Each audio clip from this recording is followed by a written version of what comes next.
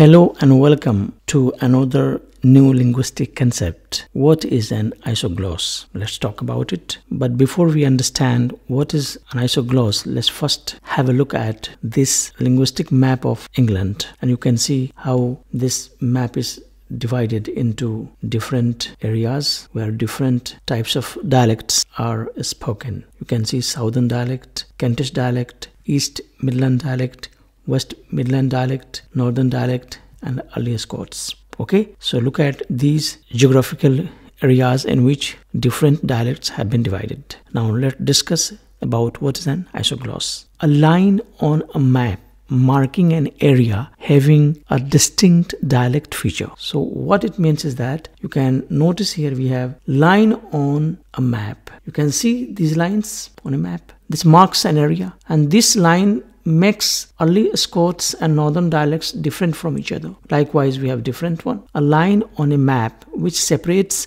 a dialect feature. The same idea, but in another way. We have another way of expressing the same thing. A dialect line on a map is called an isogloss. We have this dialect line. You can see this is the dialect line. Go to another dialect line, and this line separates West Midland from East Midland. Then another dialect line. This line separates Kentish from Southern dialect. Then we have this line separates earlier Scots from Northern, and this is the line. So a dialect line map is called an isogloss. Look at this map again. So keeping in view this discussion, we can say an isogloss is a geographical boundary line separating one area of dialect from another. Different dialect lines on a map are termed as isoglosses. Isogloss is also known as heterogloss. Particularly see the middle part that is this one different dialect lines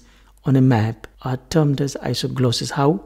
Look at different lines, second line, third line, fourth line, fifth line, sixth line. So what we notice is that we have a different lines and these different lines separating one dialect from another can be also termed as isoglosses. Thus we can say the necessity of drawing a dialect line on a map has resulted into the creation of dialect map. So how dialect map has been created? Why is it necessary to create a dialect map? Because of the geographical demarcation of linguistic features. This has resulted into creating a dialect map. And dialect map has further resulted into linguistic atlases, what we call linguistic atlas. Hope you understand the concept.